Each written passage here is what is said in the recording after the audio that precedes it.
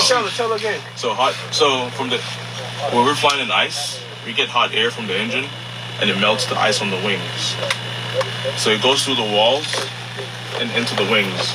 We heard a loud, a loud uh, pop, and a, a lot of air coming into the cabin. So we thought the door was open, but when we checked, it was it was the the de-ice. The ice pop. No, the de-ice The equipment. de-ice. So Yeah. it's like a, it's like So- a machine that kind of that it blows it blows hot air into the wing and it melts the ice. make, melts the ice. If you can't melt the ice and you fly through icing equipment, uh, icing weather, the airplane can stall And and crash. crash. So So what's happening right we now actually is we actually had ice coming from Memphis. Memphis. Ice, they just dropped bag off. just flew through ice and we had to do some crazy stuff to get out of it. They sure say gonna snow in Memphis. They say We ain't supposed to be snowing in Memphis. like this week. So the plane was going to Memphis, then we were driving to Tupelo. No, you were flying in Tupelo. So they, the plane dropped bag in Memphis. Then they come pick you up, and then you gonna fly into Tupelo. Okay, so let me tell you live. What's up, live? Just left my um uh ATL show for the tour. Um, as y'all can see, I'm on the jet. I was excited, super excited to go to Tupelo. And can you explain to me what happened?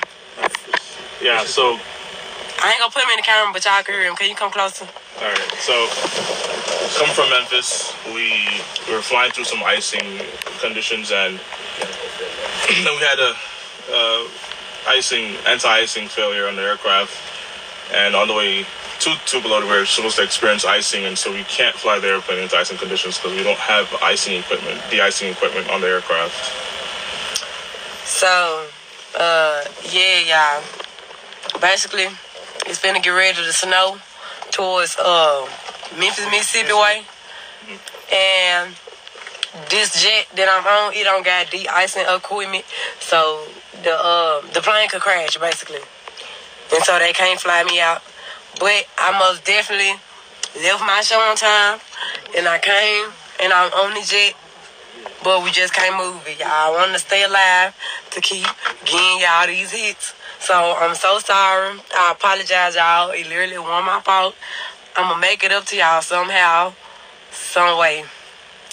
But I just had to let y'all know that I'm here. She on her live right now. I'm here. I was on the jet. I got my makeup artist, my cameraman, my security. Y'all want to talk to the girl? Yeah, we here, we here, Chuck no one. I'm gonna do a quick play. No one. What's up? no one. We Ain't, ain't, ain't no count. We was here. We was ready.